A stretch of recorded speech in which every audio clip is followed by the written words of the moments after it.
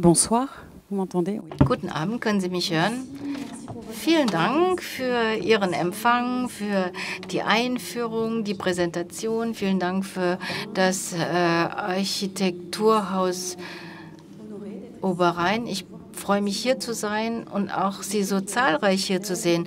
Ich habe verstanden, dass Architekten im Raum sind, Studierende, aber auch äh, einfach Architekturinteressierte aus der breiten äh, Öffentlichkeit. Deswegen werde ich versuchen, mich an Sie alle zu richten.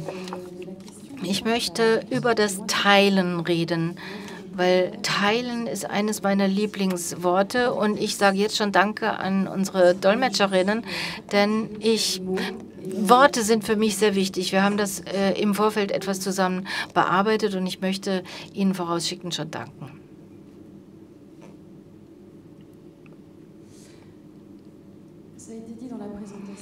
In der Einführung wurde schon gesagt, ich teile also meine Zeit zwischen meinem ähm, Büro in Paris und meinem Lehrauftrag in Lausanne.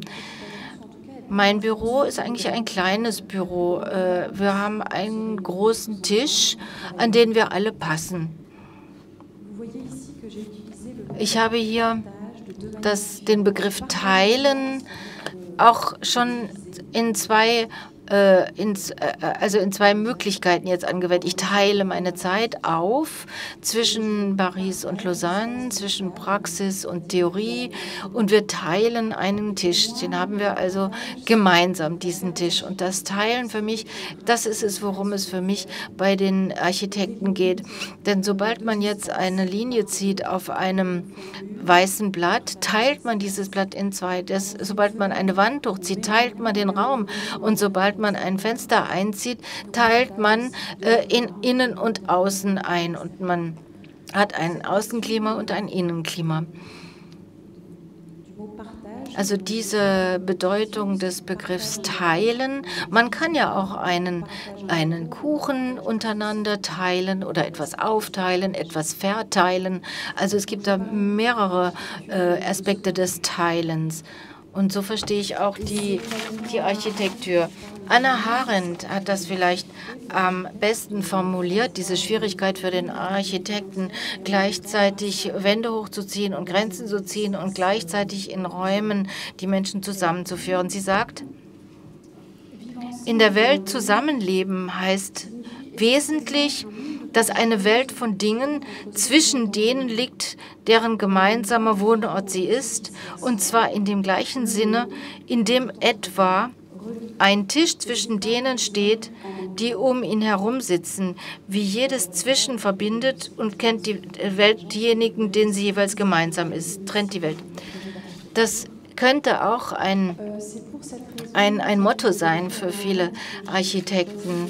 Äh, ich habe vor ein paar, ich habe vor zehn Jahren beschlossen, mich in meiner Arbeit nur um Wohnprojekte zu kümmern, weil das Wohnen ist für mich äh, wirklich das, was mich an der Architektur am meisten fasziniert. Denn ähm, hier wird, werden räumliche äh, Aspekte, aber auch gesellschaftliche Aspekte, Gemeinschaftsaspekte zusammengeführt. Das ist für mich eine besondere Art, Architektur äh, umzusetzen, zu leben, weil wenn man an Wohnungen arbeitet, dann arbeitet man von innen heraus. Das hier ist ein Rembrandt. Das Bild heißt die Anatomie des Dr. Tulp aus dem Jahr 1642. Hier wird zum ersten Mal der Körper von innen entdeckt. Und das war natürlich ein Ereignis. Wenn man Wohnarchitekt ist, dann ist man vielleicht wie diese Ärzte damals, wenn man den Körper einmal entdeckt hat von innen und wenn man, wenn man weiß, wie das funktioniert, äh, der Körper mit seinem Skelett, seinen Muskeln, seinen Nerven, wenn man das einmal gesehen hat dann, äh, dann, und entdeckt hat, dann sieht man die Welt ganz anders. An Wohnprojekten arbeiten. Also ich bin eine große Verfechterin des sozialen Wohnbaus für Architekten. Aber das sind keine kleinen Dinge, das ist äh, keine Nebenkunst äh, der Architektur, die Frage des Wohnens oder der Wohnungen. Denn es sind 80 Prozent äh, der, äh, der Stadtoberfläche und an Wohnungen zu arbeiten, heißt an der Stadt zu arbeiten von innen heraus. Sie haben hier zwei Abbildungen aus zwei verschiedenen, äh, aus zwei verschiedenen Seiten und zwar von der gleichen Stadt, Rom. Links, das ist der Plan von Noli. Das ist vielleicht die also Nolli hat hier die äh, öffentlichen Räume gezeigt. Man konnte hier aber, diese waren aber auch verbunden durch die, durch äh, viele Gänge, auch äh, durch die Kirchen. Und das ist auch eine Form des Bewohnens eines Raums. Und äh, rechts ist der Plan von Moratori, der die Stadt eher so beschreibt, als dass sie viele Individuen beherbergt, also viele kleine Räume. Das heißt, die Stadt, die ist auch äh, in viele Realitäten aufgeteilt, unterteilt und an der äh, äh, an Wohnen arbeiten. Das ist es auch, dass man zusammen sein kann, aber gleichzeitig auch voneinander getrennt sein kann das äh, jetzt an, am Wohnen arbeiten, da beschäftigt man sich natürlich auch mit der Gesellschaft. Das ist ein sehr schönes, äh, eine sehr schöne Zeichnung von Riken Yamamoto äh, über die Gesellschaft. Ich möchte jetzt heute auch äh, zum Begriff Transformation natürlich etwas sagen. Natürlich gibt es viele Veränderungen.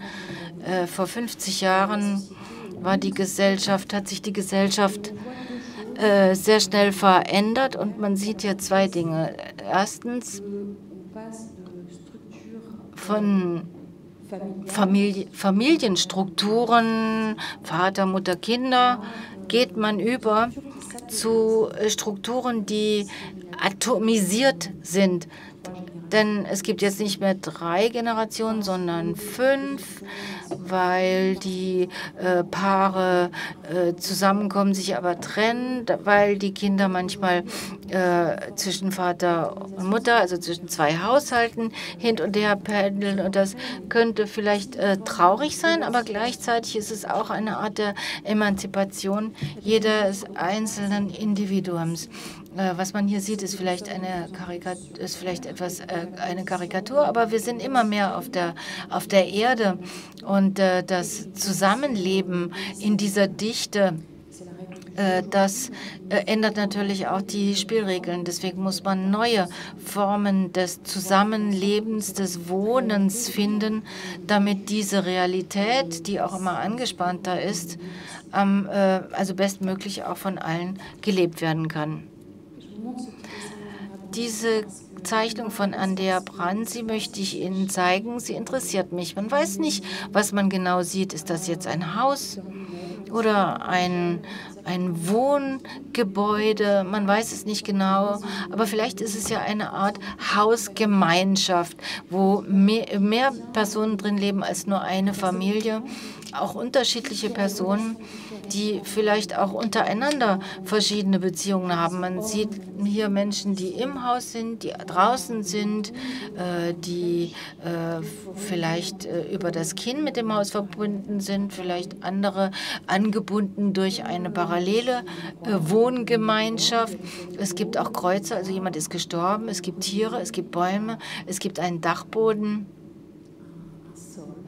einen Boden, also es gibt hier sehr viele Aspekte, wo also hier diese Gemeinschaft dargestellt wird. Als ich mein erstes Bauprojekt durchgeführt habe für den Wohnungsbau, mein erstes Programm, äh, da war es ein dickes Buch, in dem stand geschrieben 50 Wohnungen, äh, Sozialwohnungen, das war die Vorgabe. Und es war ein dickes Buch wo aber kein Wort verloren wurde über das, was eine Wohnung sein soll. Es gab eine Beschreibung, ja, es muss so und so viel Quadratmeter sein, ein Kinderzimmer, ein Schlafzimmer, ein Wohnraum, ein Esszimmer, es gibt so und so viel Flächen, so und so viel Staumöbel, aber nichts darüber, was eigentlich Wohnen in dieser Wohnung bedeutet nur Regeln, die man eben vorgegeben hatte. Was nun die Gemeinschaft angeht, da war nicht eine einzige Erwähnung in dem Gebäude, was ich entwerfen sollte. Die Gemeinschaft, das war eher so, dass man sagt, das ist wahrscheinlich ein hohes Gebäude, ein mehrgeschossiges Gebäude mit vielen Wohnungen wo man dann diese Wohnungen so anordnen muss. Aber es gab kein Wort über die Art äh, des Zusammenstellens dieser Wohnungen und der Gemeinschaft. Über das Soziale nichts. Man sagt, die Gemeinschaft, das ist vielleicht äh, gleichbedeutend mit äh, Dichte oder mit Haushaltsfragen. Also es sollte natürlich nicht teuer sein. Es ging also jetzt nicht um soziale Verbindungen zwischen den Menschen, sondern es ging eigentlich nur darum, was das Ganze kostet. All diese Fragen, äh, das sind Fragen, mit denen wir Architektinnen und Architekten uns beschäftigen, die Fragestellungen, die wir aufwerfen müssen, damit es uns gelingt, hier wirklich einen Weg aufzuzeigen über alle Normen und Regeln und Vorgaben hinaus.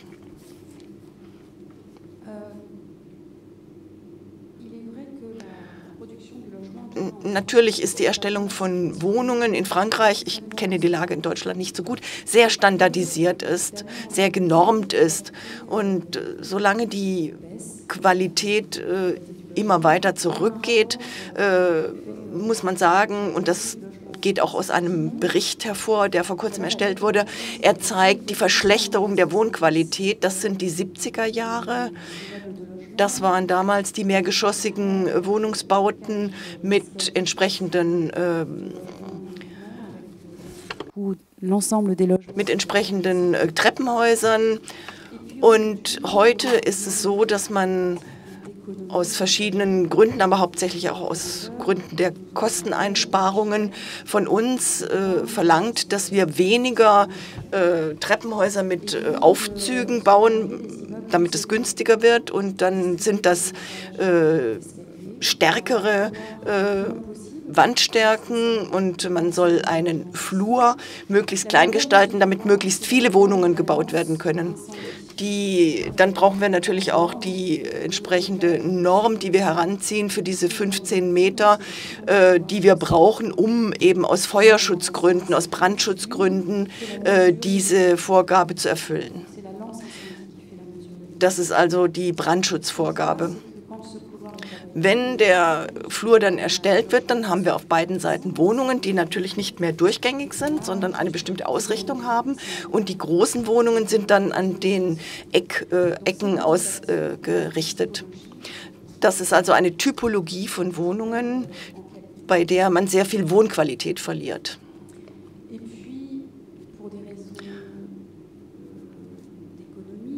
aus Spargründen ebenfalls, ähm, weil, und weil sich kleine Wohnungen besser verkaufen, ist es so geschehen, dass die äh, Wohnfläche immer kleiner geworden ist. Und man irgendwann ein Mindestmaß äh, äh, erreicht hat an Wohnfläche mit das betrifft die Zimmer, die Badezimmer, die Flure, die Eingangsbereiche gemäß den geltenden Normen, zum Beispiel auch für Personen mit Behinderungen. Und unter 57 Quadratmeter kann man diese Gleichung eigentlich nicht mehr durchhalten und erhält dann wirklich so kleine Wohnungen, wo die äh, Zimmer nahtlos ineinander übergehen, so ein bisschen wie so Zuckerstückchen, die man aufeinander schichtet oder nebeneinander legt. Und das sind heute die gängigen Wohnungen. Diese Arbeit äh, hat man dann nach und nach ähm, so gestaltet, dass man zum Beispiel Badezimmer äh, gestaltet, die immer größer werden, weil man zum Beispiel für Menschen mit Behinderungen eine bestimmte Größe braucht. Und das Esszimmer oder der Wohnraum, äh, das Wohnzimmer verliert dann eben an Fläche. Das waren früher noch 30 Quadratmeter, heute hat man äh, 23 Quadratmeter mit der Küche, die dann eben offen ist äh, im Stil einer amerikanischen Küche. Man sieht auch, dass die Schlafzimmer, das haben Sie vielleicht auch im vorigen Plan gesehen, immer als Elternzimmer bezeichnet werden oder als Kinderzimmer. Äh,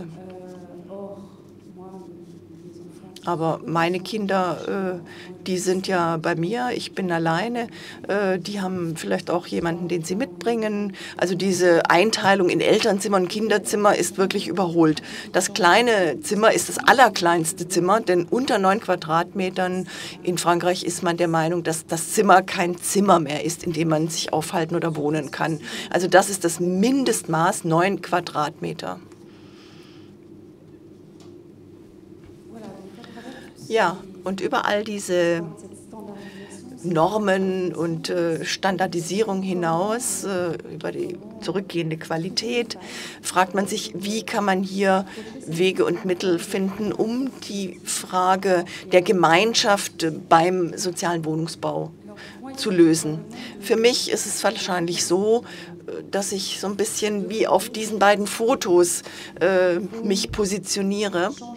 Man muss einfach die Perspektive wechseln, den Standpunkt wechseln, denn es ist sehr schwierig, gegen die Normen anzugehen. Ich kann das auch nicht, aber dieses Foto ist sehr schön, denn das sind zwei Fotos, die im selben Moment aufgenommen wurden mit zwei Fotoapparaten.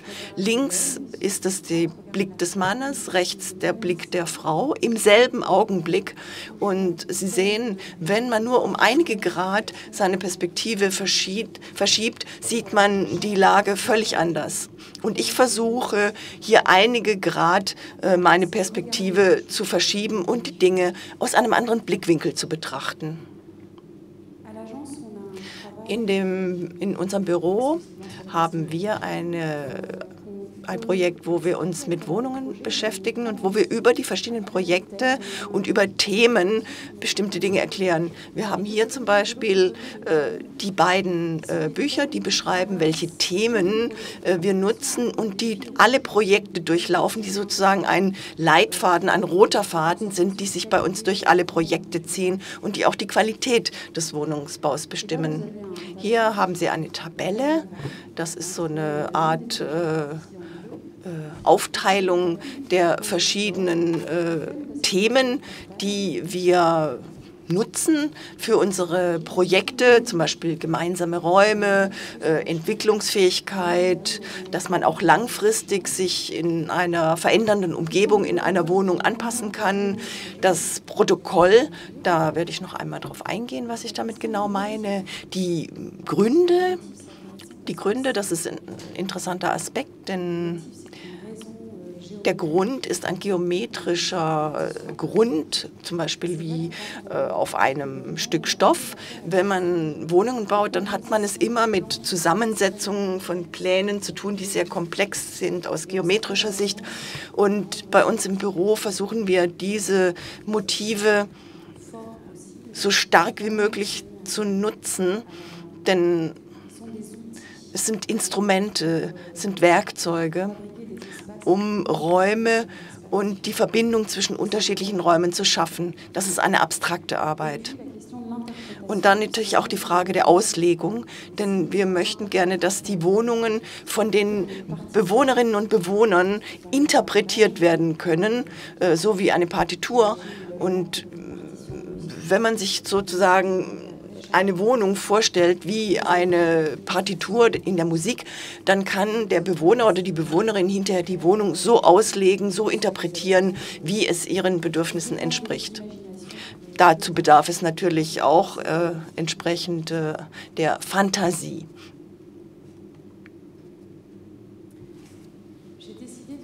Ich habe beschlossen, Ihnen drei Projekte vorzustellen, aber zuvor möchte ich gerne einige Begleiter aus unserer Arbeit äh, vorstellen. Es sind Schriftsteller, es sind Künstler, die für mich sehr wichtig sind und die mir dabei helfen, diese kleinen Abweichungen, diese Perspektivenwechsel an unseren Projekten vorzunehmen. Der erste, den ich sehr gerne mag, ist Georges Perec.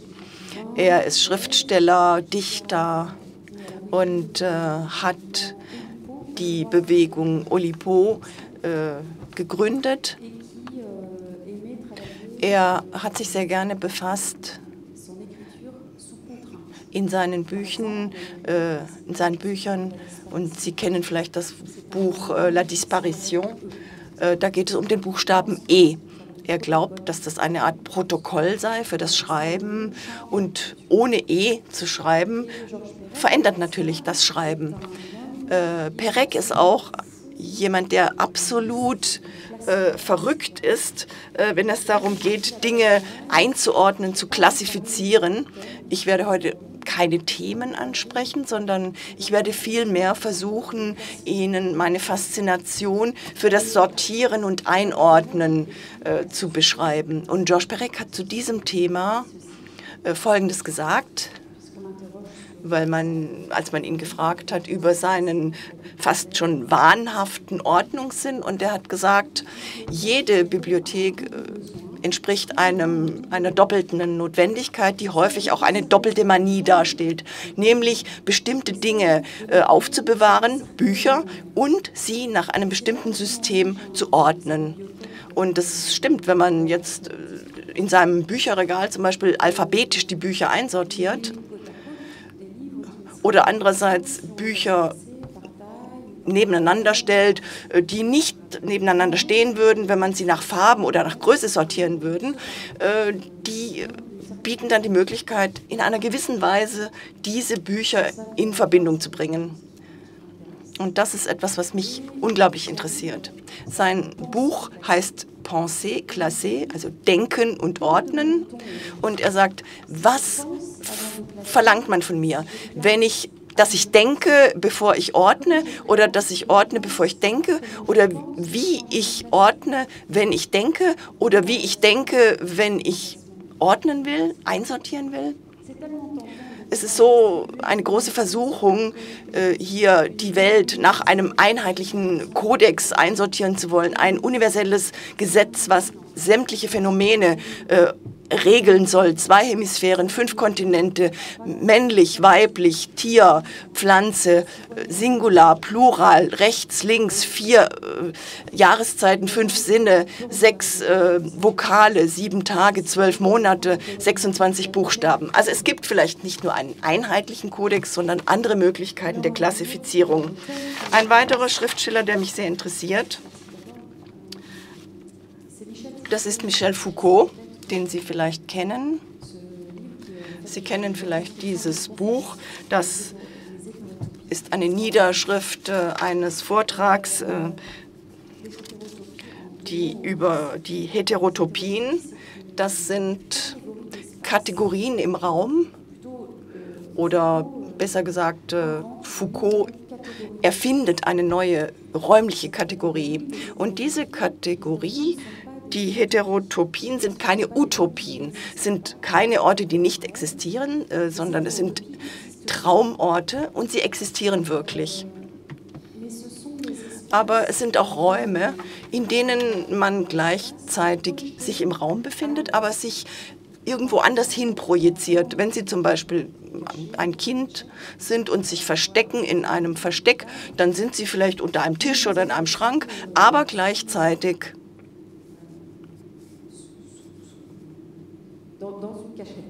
in einem Versteck. Na, ist vielleicht nicht das beste Beispiel. Wenn Sie im Kino sind zum Beispiel, dann sitzen Sie in einem Sessel, in einem Kinosessel, im Kino vor einem Bildschirm und gleichzeitig sind Sie in einem anderen Land, in eine andere Geschichte verwickelt und Sie sind völlig äh, in die Fiktion eingebunden, die Sie in dem Film erleben. Das sind all diese Räume, die konkret existieren, aber die einen Gegenraum äh, benötigen. Und das können Theater sein, äh, das können Gärten, Parks, Bibliotheken, Teppiche, Friedhöfe, Verstecke, Kirchen, Kirmes, Kino sein. Die Register der Heterotopien äh, vereinen die Dinge, die normalerweise nichts miteinander zu tun haben, zumindest gemäß einer normalen Klassifizierung oder einer traditionellen Klassifizierung. Äh, er erzählt auch, dass er diese Idee gehabt hat, als er das Buch Fiktionen von Borges gelesen hat. Und Borges schreibt, dass die Tiere sich aufteilen in verschiedene Kategorien. Es gibt diejenigen, die dem äh, Kaiser gehören, es gibt diejenigen, die einbalsamiert sind, dann diejenigen, die gezähmt sind, es gibt die Spanferkel, es gibt die Sirenen, die großartigen, die freien Hunde, diejenigen, die in die derzeitige Klassifizierung eingeschlossen sind, diejenigen, die wie Verrückte sich aufführen, die unzählbaren, diejenigen, die mit einem feinen Kamelhaarpinsel gezeichnet sind, etc. Diejenigen, die den Krug zerschlagen haben und die, die von weitem wie Fliegen erscheinen. Foucault ist absolut fasziniert davon, denn er versteht Borges so, äh, dass er die Tiere sieht, wie er sie nicht sieht. Und das zum Thema Kategorien. Bei einer Kategorie geht es darum, neue, reale Felder aufzubrechen und Dinge, die einst nicht zusammengehörten. All diese Räume haben eben diese Heterotopie gemeinsam. Und jetzt noch eine letzte Bezugnahme von Sally Witt, ein minimalistischer amerikanischer Künstler. Ich bin großer Fan von ihm. Er hat in den 70er Jahren die erste Sammlung von Künstlerbüchern eröffnet. Das war der Anfang einer ganzen Reihe von, glaube ich, 70 äh, Werken. Das sind äh, quadratische kleine Bücher und das ist das Erste, was er erstellt hat. Es ist ein minimalistischer Künstler und er stellt die Farbe an ihrer Wurzel in Frage. Es ist wirklich faszinierend, äh, seine Arbeit. Und äh, mir hilft das sehr, denn er schafft es mit einfachen Mitteln ganz konkret seine eigene Disziplin in Frage zu stellen und hier eben auch äh, die Malerei. Er hat ein Arbeitsprotokoll dazu erstellt und äh, wollte einfach nur äh, Tabellen machen mit verschiedenen Regeln. Äh, das heißt Kombinationen von vertikalen und horizontalen Linien. Das ist bereits eine Art und Weise, so einfach wie möglich davon zu sprechen, dass es zwei Dimensionen in der Malerei gibt nicht, äh, noch nicht die dritte Dimension, die hier enthalten ist, sondern nur die vertikale und die horizontale. Er fragt sich auch äh, über die Kombinationen von Schwarz, Gelb, Rot und Blau und natürlich auch äh, das Material äh, in der Malerei, also gerade Linien, dann freihändige Linien und äh, punktierte Linien. Und das kombiniert er dann, und das ist sozusagen die Zusammenfassung in dem Buch, die wir hier sehen, links, sämtliche Kombinationen der Kreuzung zwischen dieser verschiedenen einfachen Vorgaben. Sie sehen, das fängt an, äh, also schwarz gerade, schwarz gerade, schwarz freihändig und so weiter. Also sämtliche möglichen Kombinationen 78 an der Zahl, also schwarz gerade, schwarz gerade, schwarz freihändig. Und von Seite zu Seite sehen wir immer neue Kombinationen, zum Beispiel hier schwarz gestrichelt. Äh, und man sieht, wie das so ein bisschen vibriert schon fast äh, auf der Seite, weil er den Pinsel gewechselt hat. Er hat hier auf einer Leinwand gearbeitet und äh, nach und nach erscheint dann auch die Farbe und die verschiedenen Kreuzungen mit den rechten mit den geraden Linien und dann den gelben Linien. Es gibt, wie gesagt, 78 ähm, Seiten mit verschiedenen Kombinationen. Und wenn man zum Schluss die Seiten betrachtet, stellt man fest, dass man eine ganze Palette äh, zur Verfügung hat. Denn jede Seite hat verschiedene Materialien, Farben, Linien, äh, Schattierungen je nach Kombinationen, die er sich ausgedichtet hat. Für mich ist das wirklich ein sehr inspirierender Künstler. Er hat ein großes Vermögen, mit einem anderen Blickwinkel zu arbeiten und wirklich an die Quelle zu gehen, an, auf seine Grundlagen zu gehen und ganz konkret und ganz einfach aufzuzeigen, äh, was auch in der Architektur wichtig ist. Es geht um konkrete Fragen. Man muss also diesen Perspektivenwechsel, diesen Blickwechsel vollziehen und die Dinge einfach und konkret gestalten. Ich jetzt mit dem ersten Projekt beginne, möchte ich vielleicht noch Folgendes vorwegschicken. Eines meiner Werkzeuge, ich bin zwar keine Malerin, äh, aber eines meiner Werkzeuge oder Instrumente besteht darin, die Arbeitseinheit zu verändern. Das heißt, so vorzugehen, dass ein Programm, das 40 Wohnungen umfasst, äh, was bedeutet das, 40 Wohnungen zu erstellen? Heute weiß man ja, dass Wohnungen sehr traditionell beschrieben werden, also als Familienwohnungen. Das haben wir gesehen. Die Gesellschaft hat sich aber entwickelt und äh, vielleicht die Wohnung auf eine Familie zuzuschneiden, ist nicht mehr so ganz aktuell. Dieses Projekt für 40 Sozialmietwohnungen haben wir umgewandelt in ein Projekt mit 240 Zimmern. Für uns war nicht die Wohnung die Arbeitseinheit, sondern die kleinste mögliche Einheit und das war das Zimmer.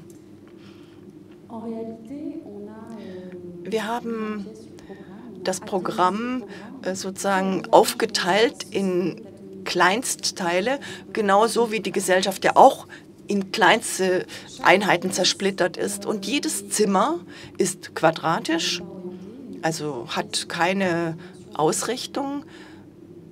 Das ist einfach die grundlegende Größe des Zimmers mit 3,60 Meter und 13, 13 Quadratmetern. Alle Zimmer sind identisch.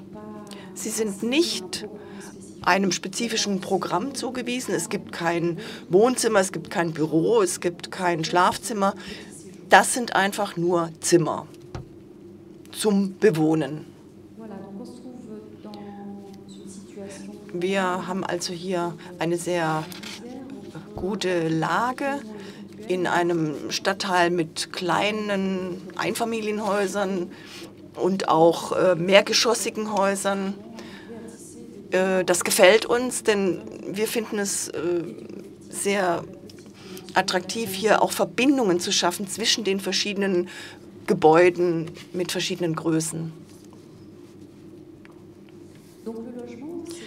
Die Wohnung ist eine Sammlung von Zimmern mit identischer Größe hier abgebildet und in jeder Wohnung gibt es eine Anzahl von Zimmern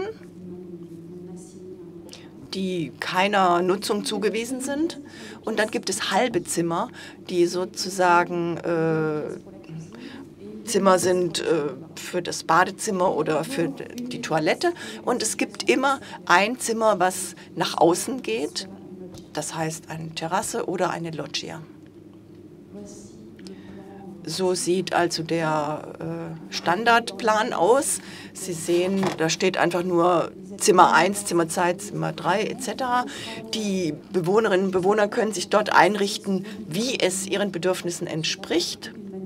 Sie können sich die Wohnung aneignen auf ihre Art und Weise und dadurch eine Wohnung haben, die ihnen ähnelt und ihrer Lebensweise entspricht.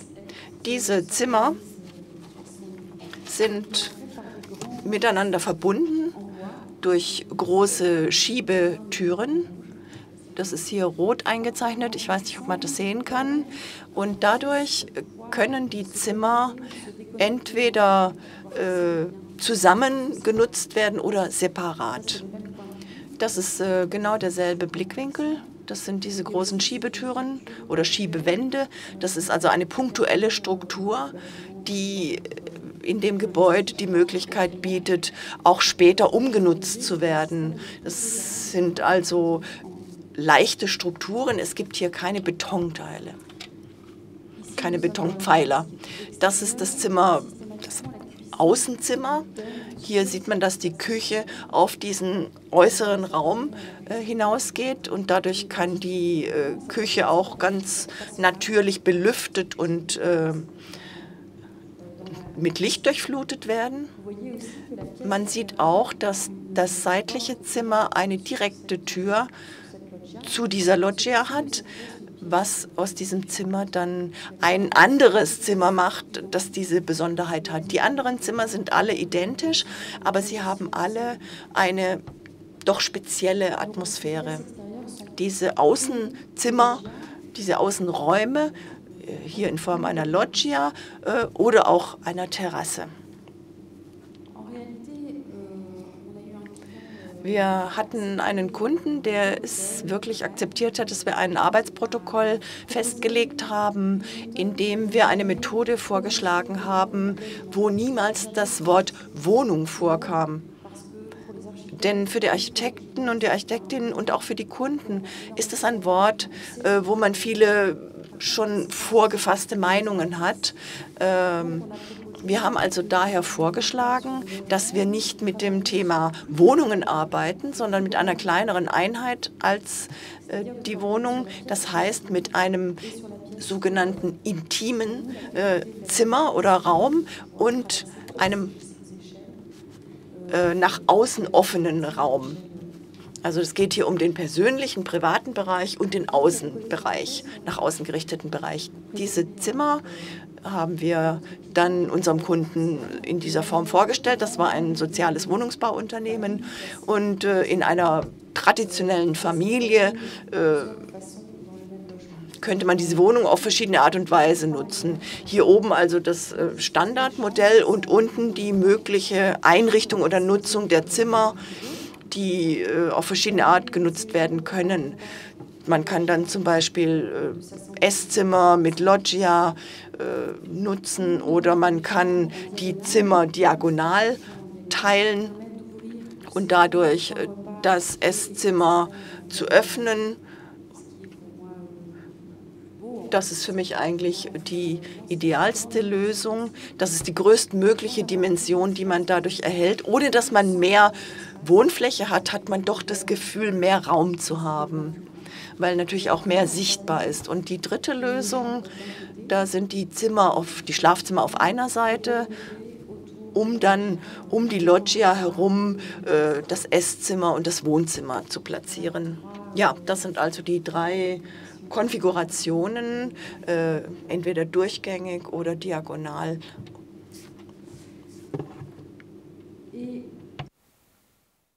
En fait, le, le logement. Die Wohnung, selbst wenn man die Zimmer äh, traditionell anordnet. Also diese Grundrisse, das sind jetzt, wäre jetzt die gleiche Familie, aber in anderen Anordnungen.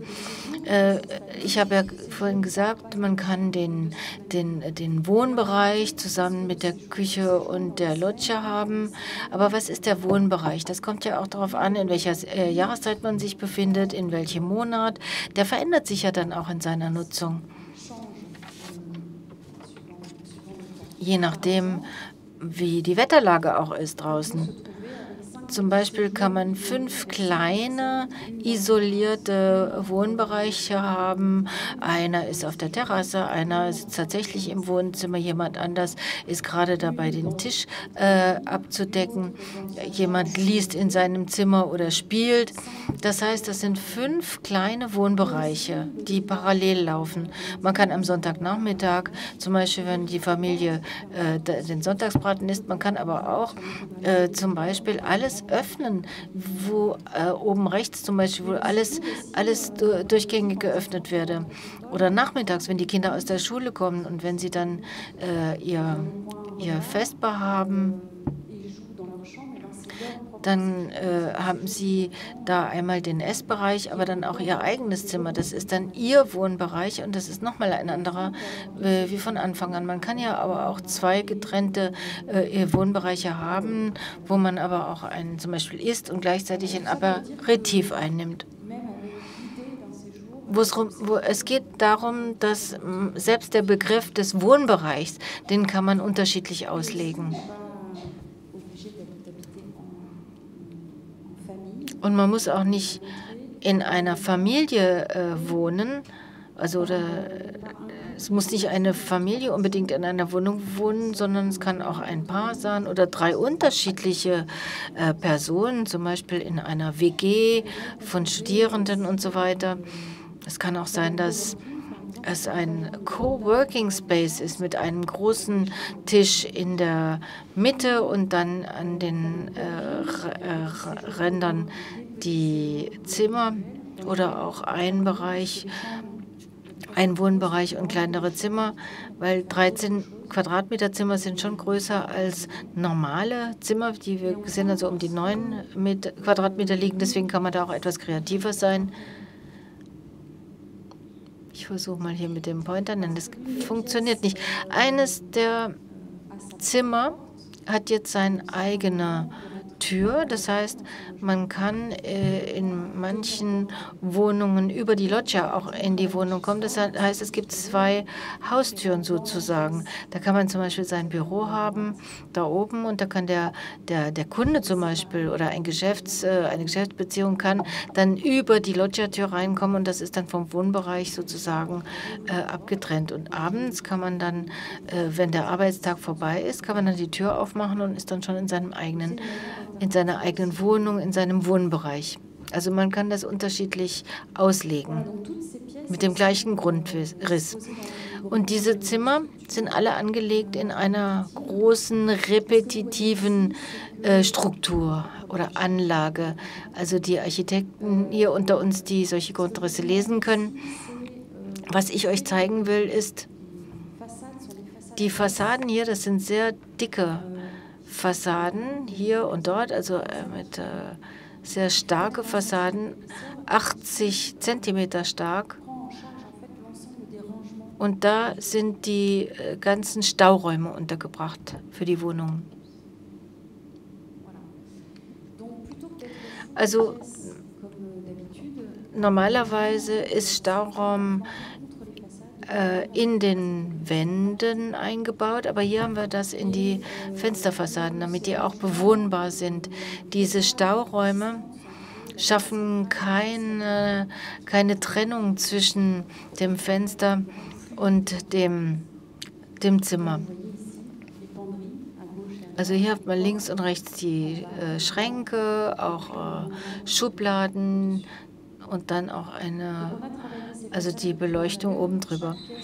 Wir haben das von innen heraus äh, angedacht und das Fenster ist auch immer in der Mitte des Raums und das hat sich so ergeben, dass die Außenfassade da sich ganz einfach von abgeleitet hat. Das ist jetzt auf, also Stadt, äh, gartenseitig, äh, stadtseitig ist es anders.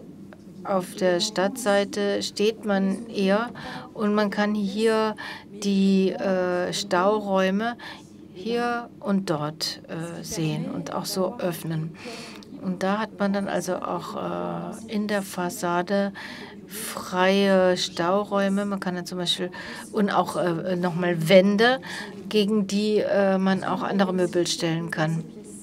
Was man hier sieht, wenn man hier nachts alles abdunkeln möchte, das ist jetzt ein äh, ein Vorhang, der nicht direkt am Fenster ist, sondern äh, der trennt diese kleine Alkove auch vom Zimmer ab. Also man kann da zum Beispiel auch in der Alkove bleiben, den Vorhang zuziehen und dann ist man allein in der Stadt sozusagen. Das macht dann wieder so einen Übergang zwischen drinnen und draußen. Links, das ist die Loggia, rechts, das ist die bewohnbare Fassade.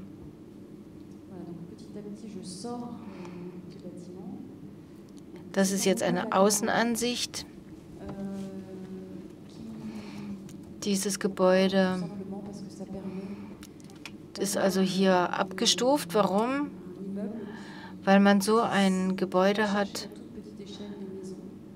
das das von einem, äh, von auf der einen Seite eben die Einfamilienhäuser da anschließt und gleichzeitig aber auch diese mehrgeschossigen Häuser in der äh, Umgebung äh, mit einbezieht optisch. Also das sind die verschiedenen, da gibt es also die Loggias oder die Dachterrassen und diese Abstufung, die hat uns auch von deshalb, äh, die hat uns auch deshalb gut gefallen, weil das irgendwie das Versprechen war,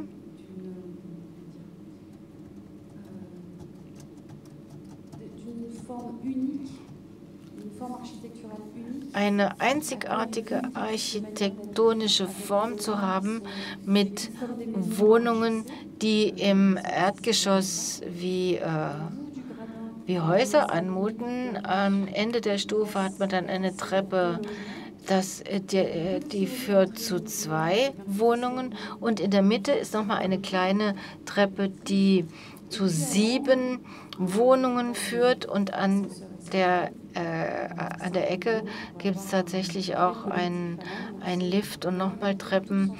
Äh, und so kann man eine, in einem einzigen Gebäude äh, auf verschiedene Weise leben. Also es gibt, äh, das ist jetzt eine Verbindung zwischen der Wohnung und der Gemeinschaft.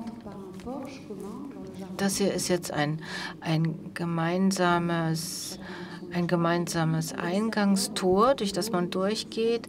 Und das ist jetzt die andere Seite. Hier hat man die 120 Fenster, die gartenseitig sind und auf der Stadtseite gibt es auch 120 Fenster, die äh, eben anders sind. Und hier gibt es eine Loggia, die größer ist als alle anderen und das ist eine Gemeinschaftsloggia, weil in den 240 Zimmern haben wir zehn Zimmer reserviert, die für die gesamte Wohngemeinschaft oder Hausgemeinschaft da sind.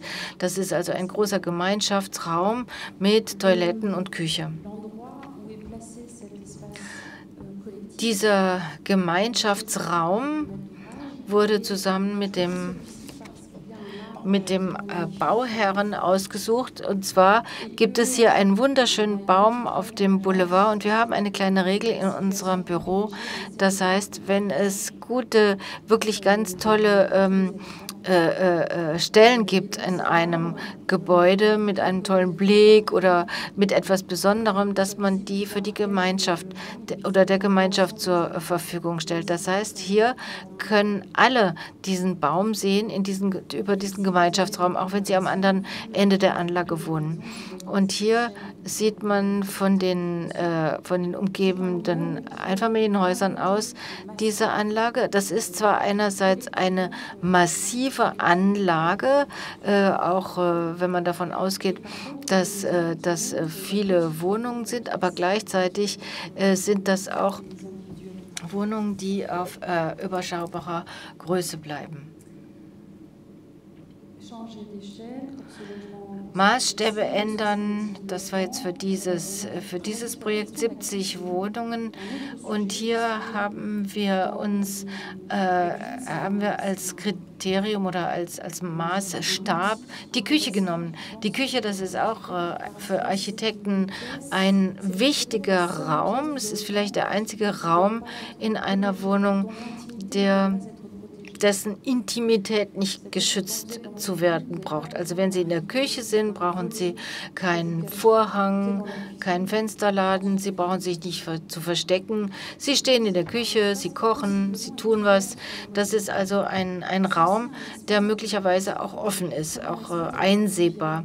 Und das ist vielleicht auch der äh, Raum, der sich äh, zur Geselligkeit eignet. Das ist auch der Raum, in dem eben gekocht wird.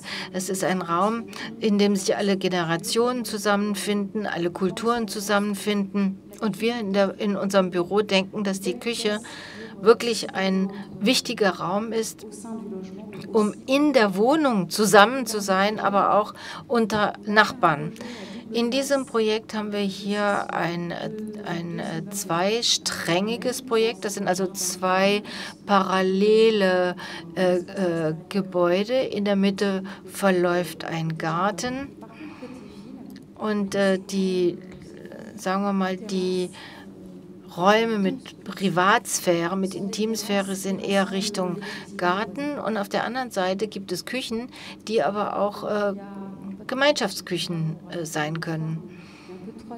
Also wir haben hier drei äh, Maßstäbe für uns, also das Zusammenleben, Miteinanderleben und dann alle zusammen in, dieser, in diesem Gebäude, weil es gibt hier auch eine Panoramaterrasse für die Gemeinschaft der Anwohner und der Garten, der führt auch auf einen Kanal hinaus und man kann also diese ganze Dimension da auch von dort aus erleben.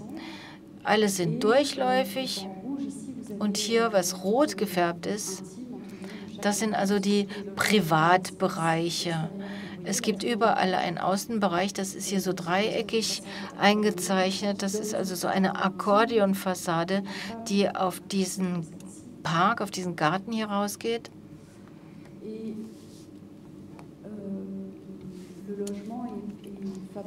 Und die Wohnung da gibt es also in der Mitte einen äh, Stauraum und man sieht ja auf, also die privaten Räumlichkeiten eher äh, auf der Parkseite und dann die Küche. Also rechts sieht man das da. Und über die Küche kommt man auch rein in die Wohnung. Das heißt, hier ist also die Tür, da die Küche mit einem Fenster das ist gleich, das Fenster, aber gleichzeitig auch eine Art Bar. Also man kann von innen oder von außen kochen. Und diese, diese, dieser Flur hier, das ist ein Gemeinschaftsflur. Also abends kommen die Leute heim. Über ihre Küche kommen sie nach Hause. Und dann sind große Fenster, die äh, sich öffnen auf diesen Gemeinschaftsraum. Und jeder kann entweder bei sich zu Hause kochen oder alle zusammen, also auf diesem, auf diesem Flur. Das sind jetzt hier diese, diese Räume. Ich habe vorhin ja gesagt, dass ich gerne Tische mag. Vielleicht kann ich noch etwas zu Tischen sagen. Wir haben lange gesprochen mit dem, dem äh, Kunden, äh, ob man in diese Räumlichkeiten auch, auch äh, Möbel stellt, also der Gemeinschaft Möbel zur Verfügung stellt, weil wir gesagt haben, naja, es kann ja vielleicht auch jeder seine eigenen Stühle, Teller, Besteck äh, äh, rausholen, aber ein Tisch, keiner hat wahrscheinlich einen Tisch, der groß genug ist, damit sich alle dran setzen können. Und deswegen haben wir hier einen großen Tisch äh, vorgesehen. Der, der Zugang ist hier immer noch äh, frei auf diese Küchen mit ihren Bar-Vorrichtungen. Als wir äh, den Tisch gesprochen haben, das war noch im Wettbewerb, in der Wettbewerbsphase, und wir haben uns gesagt, gut, dieser Tisch, den haben wir uns vorgestellt, aber vielleicht muss man ein bisschen Einsparungen machen beim Projekt und haben uns gesagt, das Erste, was dann vielleicht wegfällt, ist dieser Tisch. Aber trotzdem war es wichtig für uns, dass die Gemeinschaft trotzdem eine Art Geselligkeit finden kann rund um einen solchen Tisch. Deswegen haben wir hier etwas getrickst. Wir haben uns gesagt, dass damit wir diesen Tisch trotzdem behalten können, muss er unverzichtbar werden. Wir, der, dass, dass das Gebäude ohne diesen Tisch gar nicht hält. Das ist jetzt ein strukturgebender Tisch. Das ist also ein, ein Träger. Das ist ein tragender Tisch, es ist ein Träger von hier bis da und da können wir hier eine äh, Säule wegnehmen. Weil man sieht hier, das ist eine kleine Struktur, die sich immer wieder wiederholt. Das ist aus Holz. Und wir wollten aber, dass dieser Gemeinschaftsraum auch äh, wichtig wird für die ganze Gemeinschaft. Und wenn wir hier noch eine, einen Pfeiler reingezogen hätten, wäre das nicht so äh, gewesen, nicht so ein offen und gesellig. Deswegen haben wir hier äh, den den Pfeiler entfernt und der Tisch ist jetzt äh, quasi der hat jetzt die Trägerfunktion anstelle eines Pfeilers. Was uns auch gefallen hat, war die Idee, dass hier die Gemeinschaft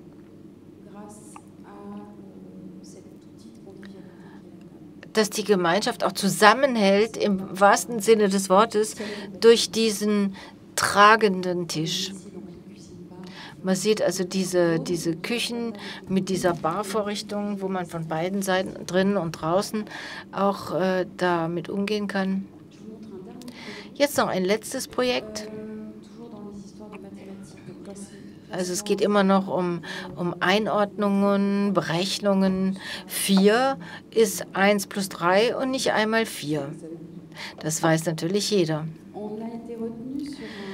Wir haben einen Wettbewerb hier ähm, gewonnen in Paris bei, für dieses Gebäude, das hier jetzt ein, ein schwarzes Quadrat ist. Das ist ein Gebäude, das zu einer Gebäudereihe gehört rund um einen großen Park. Also in Paris, wenn man am, am, am Rande eines Parks wohnt, das ist wirklich ein großes Privileg. Privileg und wir haben uns sehr äh, gefreut, dieses äh, Projekt zu bekommen.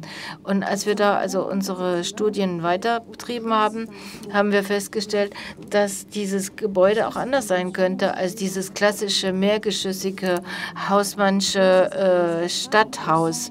So sehen die aus, diese Häuser. Das, das weiße Quadrat in der Mitte, das sind also die Versorgungsschächte und Teile.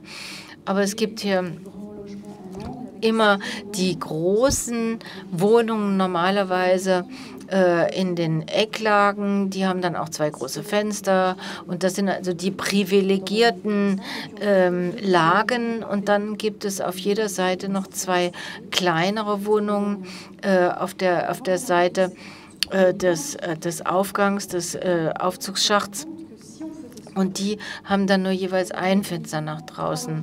Aber wir haben gesagt, so haben nur drei von sechs Wohnungen Blick auf den Park. Und das ist ja wirklich schade, denn äh, der, die, die, die, der, der oberste äh, Vorteil und Anreiz dieser Lage ist ja der Park. Deswegen haben wir beschlossen, dieses mehrgeschossige Haus, dieses Mehr Wohnquadrat, so aufzuteilen, dass alle Wohnungen Blick auf den Park haben. Das war also die Herausforderung, die, die Spielregeln der Typologie neu äh, aufzustellen. Das wollten wir also so, dass in diesem mehrgeschossigen, äh, viereckigen Haus alle Wohnungen etwas von diesem Park haben, dass also alle Wohnzimmer auf den Park hinausgehen. Das ist jetzt der Grundriss, so ist das geworden. Das sind also sechs äh, gleiche Streifen sozusagen. Also für die Studierenden, die hier sind äh, in, im Wohnungsbau, stellt sich auch immer der Frage der Ausgewogenheit, der Gerechtigkeit. Denn im Zusammenleben ist das auch wichtig, dass es ausgewogen und gerecht ist. Das sind also hier sechs parallel laufende, sagen wir mal, Streifen und da gibt es auch äh, große Möbel. In den Möbeln sind, ist also die ganze, verläuft die ganze Technik, die Versorgungsschächte, die Küchenmöbel, damit äh, der Raum zwischen den Wänden äh, so frei nutzbar ist wie möglich. Hier sieht man zwei Dinge. Das erste, es gibt Wohnungen, die relativ einfach sind, links zum Beispiel und rechts. Das sind, äh, das gibt es also drei Fassaden, eine auf den Park, eine an der Seite und eine nach hinten raus. Die sind sehr hell, die haben viel Licht, aber die, die in der Mitte sind, das sind Wohnungen, die also zwei Meter äh, vorne haben, aber doch 18 Meter äh, äh, stark sind. Und 18 Meter bedeutet, dass man da nicht unbedingt äh, das Licht hat. Und für diese Wohnungen haben wir dann ein Wohnzimmer mit doppeltem äh, Decken, mit doppelter Deckenhöhe, um äh, mit dieser Deckenhöhe so zu spielen, dass das Tageslicht einfällt und dass man aber auch, dass auch der, der Blick, die Perspektive sich erweitert. Ja, wir haben dann gesagt, 18 Meter, das ist ja gar nichts. Äh, Le Corbusier hat äh, noch sehr viel mehr äh, aufzubieten gehabt. Und so haben wir dann auch argumentiert. Das sieht man jetzt von der Fassade her, also die großen Möbel, die gleichzeitig strukturgebend sind und die Wohnungen, die in einfacher Höhe gestaltet sind und in den beiden zentralen Wohnungen eine doppelte Höhe, also auf, jeder, jedem Stock gibt es sozusagen eine doppelte äh, Deckenhöhe. Und dadurch äh, bekommen die Wohnungen eben auch entsprechend das Tageslicht. Um diese Wohnungen zu erstellen, haben wir zwei Treppenhäuser äh, gemacht. Und ich habe ja soeben von den Normen und Zwängen und Vorgaben gesprochen. Und es stimmt, in einem traditionellen mehrgeschossigen Hausmannschenstil-Haus äh, sieht das natürlich anders aus, weil hier hat man sozusagen gar keinen Verlust. Man geht direkt rein. Hier hat man nur ein Treppenhaus und einen Aufzug. Und die meisten bebauten Flächen äh, haben das anders gelöst. Also wir haben den Wettbewerb gewonnen mit unserem Projekt und wir haben dann die Frage gestellt, aber Sie haben schon gemerkt, dass es hier zwei Treppenhäuser mit Aufzügen gibt. Ansonsten können wir das Projekt so nicht realisieren. Und haben, ja, ja, haben wir gemerkt, ist gut, kein Problem, denn für uns ist es natürlich toll, wenn wir 100 Prozent der Wohnungen mit Blick auf Park bauen können. Das hat einen erhöhten Wert für uns. Also das heißt, das Privileg, äh, den Blick auf den Park zu haben, äh, das konnte unser Kunde auch nachvollziehen. Und deswegen konnten wir dann tatsächlich dieses Vorhaben so realisieren mit sechs nebeneinander gestalteten Wohnungen und alle mit Blick auf Park. So, dass für diejenigen, die sich mit Plänen auskennen, das sind also die geraden und ungeraden Stockwerke, wo man dann sieht, wo die doppelte Deckenhöhe angesiedelt ist. Ja, wir haben eine, ein Modell erstellt, um das auch genau zu erklären, denn dreidimensional ist es nicht ganz so einfach äh, zu verstehen. Also hier in der Mitte blau, das sind die Doppel... Äh, die Doppeldeckenhöhen. Und das fanden wir auch spannend, denn das ist eine ganz besondere Strategie, die wir hier angewandt haben für die Fassaden. Normalerweise, wenn wir ein mehrgeschossiges Haus entwickeln, dann sind die äh, Fassaden hier komplett verglast, mit Ausnahme der großen Strukturen, die die Terrassen voneinander abtrennen. Das ist also einfache Höhe oder doppelte Höhe mit den Außenbereichen.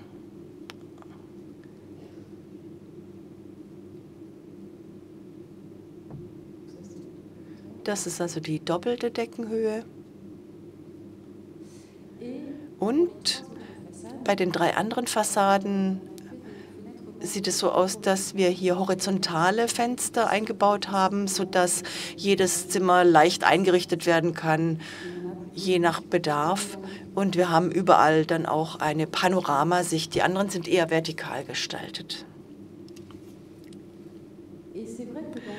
Und es stimmt, dass in den traditionellen Plänen für mehrgeschossige Häuser oder Mehrparteienhäuser man diese vier Fassaden hat, die zwar nicht identisch sind, weil es unterschiedliche Längen gibt. Aber jede Fassade hat hier Zimmer vom Wohn äh, Fenster vom Wohnzimmer, Zim Fenster vom Schlafzimmer und da wird dann eine entsprechende spezielle Anordnung mit großen Fenstern, mit kleinen Fenstern vorgesehen. Und das sind häufig Fassaden, die sehr komplex in der Gestaltung sind und die auch sehr viel kosten, weil natürlich die Fenster für Schlafzimmer und für Wohnzimmer äh, entsprechenden äh, Schallschutznormen folgen müssen. Und das äh, ist erstens komplex und zweitens sehr teuer weil jede einzelne Fensteröffnung entsprechend diesen Normen gestaltet werden muss. Hier haben wir zwei Fassadentypen, nämlich Wohnbereich, eine Fassade komplett äh, verglast und die drei anderen Fassaden, die äh, Fassaden mit äh, vertikalen Fenstern sind. Also das heißt, jede Fassade hat hier eine entsprechende Vorgabe. Das ist also eine ökonomische, eine wirtschaftliche, eine kostengünstige Lösung. durch diese horizontale Fassadengliederung. Also hier die komplett verglaste Fassade und dann auf der Seite die äh, entsprechende horizontale Fassadengliederung mit einer Besonderheit, die uns gut gefällt, nämlich dass die durchläufigen Wohnbereiche bis zur Nordfassade gehen. Und was man hier sieht, das ist äh, sozusagen der Durchgang äh, des Wohnbereichs und das ist ähm, etwas, was sich sehr natürlich gestalten lässt.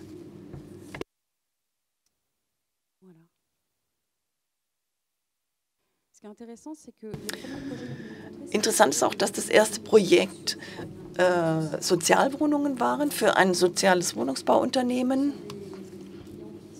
Und das sind Kunden, die natürlich ein Interesse daran haben, dass die Bewohnerinnen und Bewohner ihre Räume gut nutzen können, denen auch die Gemeinschaft am Herzen liegt und die gemeinschaftliche Nutzung von Flächen am Herzen liegt.